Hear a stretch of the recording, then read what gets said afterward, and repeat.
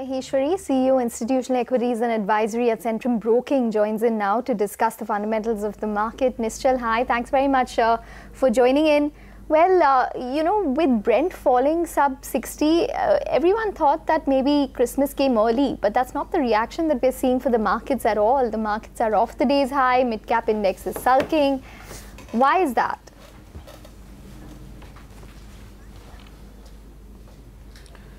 So I think uh, uh, there were two um, uh, major catalysts basically you really look at the, the market and I think uh, obviously this has been a positive catalyst as far as oil is concerned and that was totally unexpected.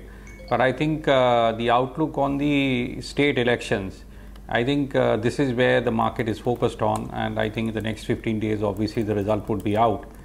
And uh, if you look at it last uh, in 2014 also, 2013, uh, these three state elections set the tone for the two, uh, 2014 uh, main elections.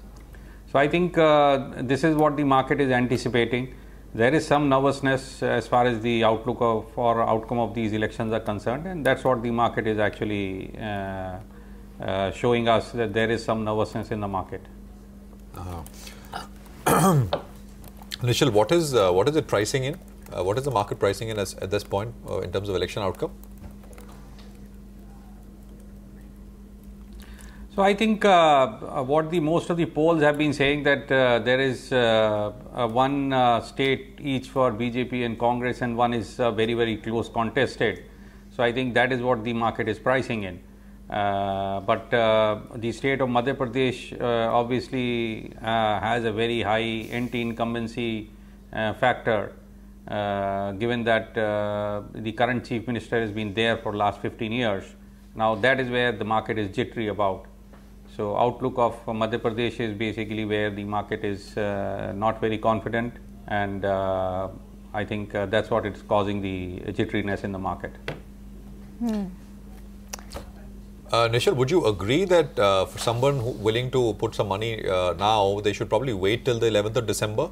You probably get, uh, you know, maybe a panic, maybe uh, a larger than a, a, a sort of uh, a panic reaction. Basically, we've we've got those before, and then the market quickly swings right back. but should one should wait for one of those? what's your sense? So, Prashant, uh, my thought uh, remains to be that you should have identified your stocks and wait for your stock prices levels rather than actually the market. Mm. Uh, because markets, you don't know what's going to be the outcome. If BJP sweeps through and you have got all the three states, then market may open up 200 points from here, up 200, 300 points here, uh, uh, up from these levels. So let's not wait for how the market does. Basically, if your stock prices, if you identified a stock and it hits a price, I think it's a good time to start accumulating those stocks. Uh, most of these stocks, whether it is mid cap or large cap, is down by anywhere between 15 to 25 percent. So I think it's a good place to be in, and the valuations are also in favor. Uh, on the macro side, obviously, I think things are uh, seeming to be pretty good. Hmm. Nischal, how would you approach a stock such as Yes Bank?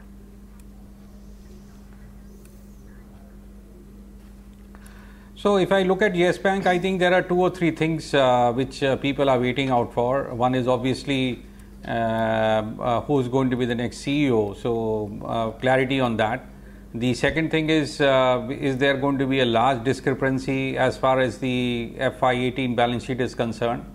And third one obviously is if there is going to be a big kitchen sinking happens basically if the new management concern comes through. My thought on that, I think the first two, uh, first two of them will get uh, settled by 15th of December because by that time the um, uh, board of the Yes Bank has to send uh, at least three names to RBI, and I think once those names are out, you would be very much clear who's coming in. Similarly, I think uh, as far as the discrepancy is concerned, I think uh, by 15th of December that report should also be out. So I think in the next one or two weeks, basically things are going to get sorted out as far as the first two is concerned. And uh, third one also, given uh, uh, my thought there is that the current management obviously is not going to wait for the new management to do if any cleaning is to be done. I think they have time and they should they would clean it up in the current quarter in the next before the new guy comes in. So I think uh, this pain will be there in the next one or two quarters is what I see.